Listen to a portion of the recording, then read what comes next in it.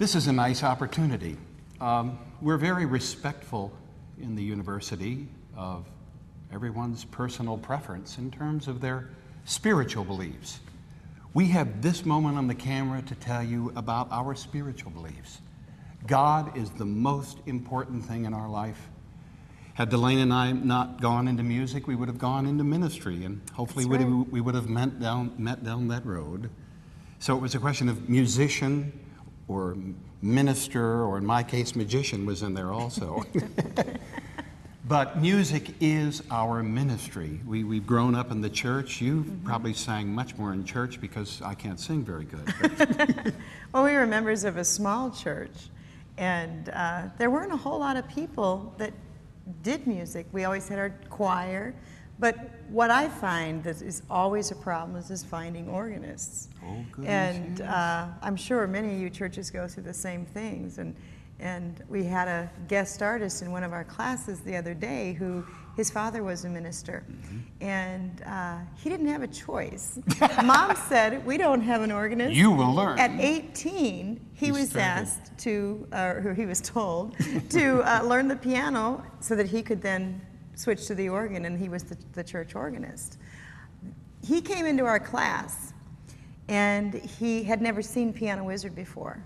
And he saw Piano Wizard, and he was just, his Lit mouth up. dropped open. He mm-hmm. says, This is what I need. Even to this day, I, I imagine, what is Stevie, maybe not even 30. maybe 28, maybe. And so he now, even at that age, after taking these lessons, and he is a fine musician, Oh you will see in the, in the gracious. videos. But he really wanted it now. Oh, yes. And, and Stevie, you know, he's one of those church musicians, gospel musicians. We were all crying. And he played Amazing Grace. I love Amazing Grace. Mm-hmm. And so the church music experience, do you remember in the lesson we had with a little Carol playing the organ? Oh, yeah, yeah. I mean, we're always in church. Well, we don't have an organist, we don't have a pianist, we don't have a choir director. And then it's great in the summers. The Mm-hmm. choir diminishes so much, they round up new people, and the name of the summer choir is Summer Singers, Summer Not.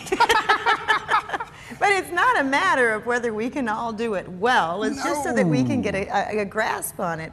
And when I see people that wish they could always play, and they sit some, they sit down with Piano Wizard, and we purposely we had to when we were working with the um, curriculum, we wanted to make sure that we covered every Important the style. of music. Yeah, uh-huh. we couldn't cover every style of music, but, we have a few spirituals in there, and we have our Church Baroque hymn. music, some classical, Mm-hmm. some church hymns.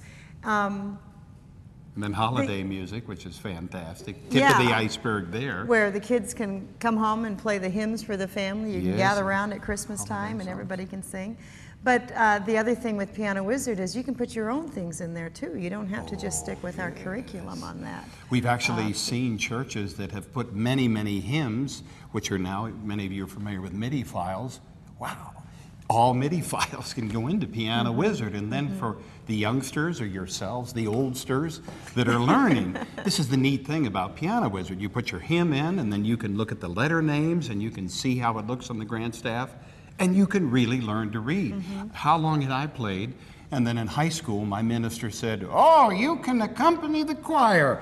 And the congregation, and I couldn't sight read maybe three whole notes, and I learned forgiveness seriously under those circumstances in church. And now we can read. Everybody Well, can read. And the other thing that's going on with music right now in the church Mm-hmm. is you do have your contemporary songs that the kids are hearing on the radio and the kids are maybe buying the CDs for those. But what's happening to the traditional hymns? Yes. We don't hear so much. eh, Many of the churches have gone to strictly Contemporary worship. worship. And so through Piano Wizard, you can put all those hymns in there. And you can learn those traditional hymns. And then the kids, after they start to get a grasp on some improvising and things, they can take the traditional hymns and take them to the piano or mm-hmm. to the organ and put their own heart into them and maybe turn that to a little bit more contemporary style mm-hmm. that, that connects more with them.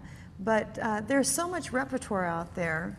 And if we're only listening to music on Sunday mornings because we're not able to make music by mm-hmm. ourselves, we aren't expanding our repertoire a whole lot. You know, in the game when we do Kumbaya, I mean, this is a piece we do in church all the time. And, Mm-hmm. and, and one of the things that Piano Wizard is teaching is that fundamental harmony. That Mm. We've played a lot of contemporary music in church, and Mm-hmm. if you can understand that, that, you know, your basic harmony. Well, the other thing too in church, there's always somebody. Could we play it in a different key? You know, and of course you say well, maybe you could join a different church, but you know, if you if you understand what we're teaching here of one, four, and five, and your different mm-hmm. keys and so forth, then the church music experience can just really blossom with Piano Wizard, you know, and Music Wizard for the children. Mm-hmm.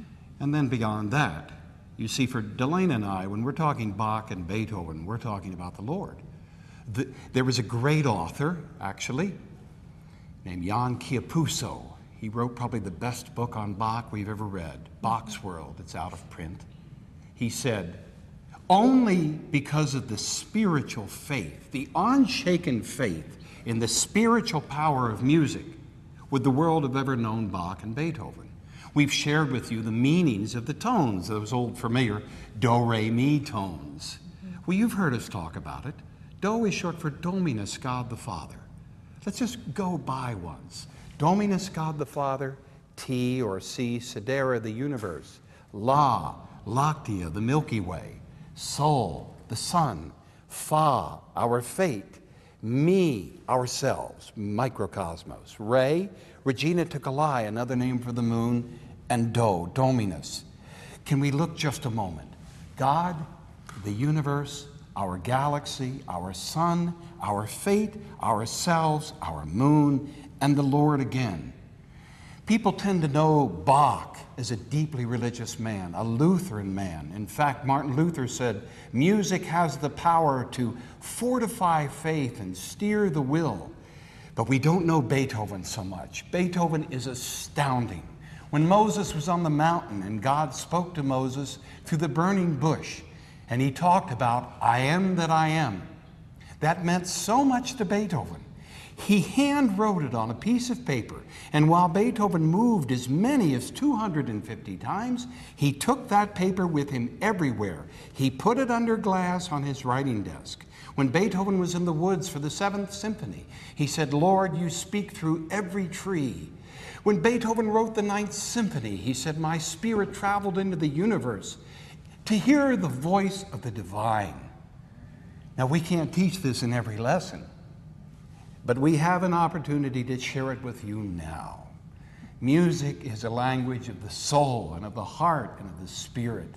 And while we might look in our churches and not see as many people in attendance as we might wish for on that day, if we are teaching music, we are nurturing the soul, the spirit, the heart. This is what the Lord would have us do. The reference to music in the Bible it begins in Genesis and ends in Revelation.